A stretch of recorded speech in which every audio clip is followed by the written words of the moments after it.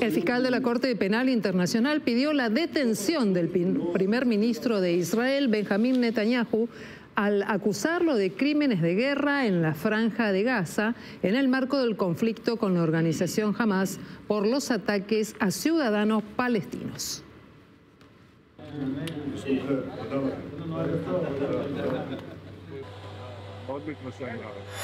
Y nos vamos para Europa porque el sábado a la noche, aproximadamente a las 23 horas,